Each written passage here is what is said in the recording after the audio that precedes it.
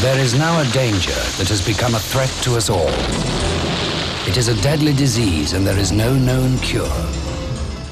It was just 30 years ago that the biggest public health campaign in British history shocked us all into accepting a new epidemic. Everyone was petrified. And a lot of people that I knew died very, very quickly. And a lot of people I knew died in the 80s. I mean, it was one after the other.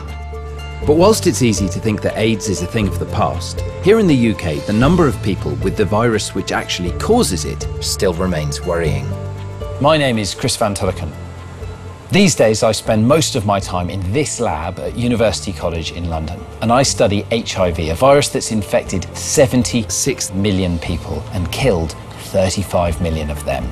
The good news? The NHS in England and Wales have just announced trials for a new drug that can prevent HIV. And in Scotland, it's available now. The bad news? There is still no cure.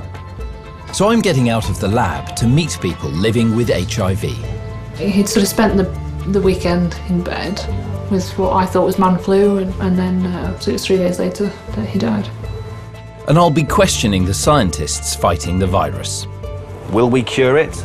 We're going to try, you know, and, and there's a real possibility. There are billions of pounds of research money being invested in labs like this all around the world. We now have powerful antiretroviral drugs that mean HIV doesn't have to be a death sentence. And PrEP, the new drug combination that's been all over the headlines recently, can prevent you catching it in the first place. But the battle is not over yet. I'll travel to the front line of the AIDS epidemic. She has lost six children. Yes. yes. To discover how science is racing to stop over a million deaths a year. We were able to, in our trial, diagnose 92% really? of those individuals who are infected. And I'll meet those dedicated to beating this disease. We have a responsibility, all of us, to destigmatize, to normalize the testing and, and encourage more and more people to get tested so that every six months or every year, whatever it be, you go and get tested for HIV just like you do everything else.